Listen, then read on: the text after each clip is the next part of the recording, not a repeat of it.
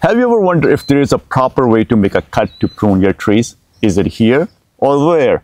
Or if there's a proper way to make large cuts? Yes, there is. Now you must avoid a stub cut or a flush cut. Let me tell you what I'm talking about. Now you want to prune off this branch from this main branch that's growing up. So if you cut it way too close like this, now this is called a flush cut. It's way too close to the main branch and it can damage the main branch which can introduce disease and kill your trees. Now you want to take off this branch from this main branch and you go too far. Now this is called a stub cut. Now this is going to die off and it can introduce disease and fungus. It can introduce bacterial canker or fungal disease into the trees and kill your trees as well. Now let's make the right cut. The cut should be one quarter of an inch from the main branch. So you need to leave just a little right there and that's the right cut. Now here's an actual branch that is growing towards the inside of this tree and I need to remove this branch. So I'm not going to make the cut right there. That's going to be too close to the trunk.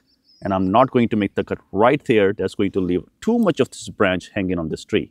So the correct way to make this cut would be right there. And there's a proper way to cut large branches. It's called a three cut process. And this is what it looks like. Now, if you make a large cut like this and you just make a cut from the top, the branch will snap and then it will peel off the bark at the bottom. So in order to prevent that, you need to make three cuts. So the very first cut is going to be 18 inches from the main trunk. So I'm going to make a first cut right here.